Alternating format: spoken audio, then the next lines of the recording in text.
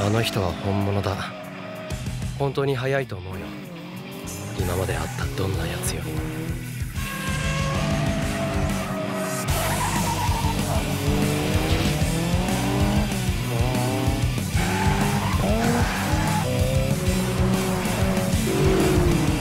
も赤城の白い彗星？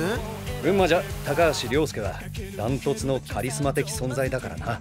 あいつ走りが変わったいつかあいつは俺を超えてやりたいことをやり始めるだろう。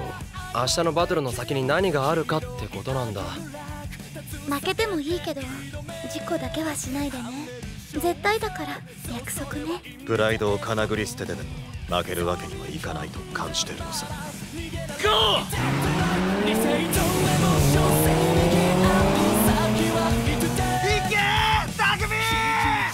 兄貴が負けるなんて俺には考えられねテクニックにはテクニック。ドリフトにはドリフトで勝つ。あの二人だからこそできる究極の限界バトル。俺の技術に破綻はない。勝つのは俺だ。えくそ曲がれ！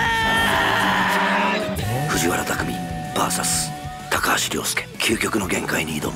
エクストリームバトル。新劇場版イニシャル D レジェンド3無限。2月6日公開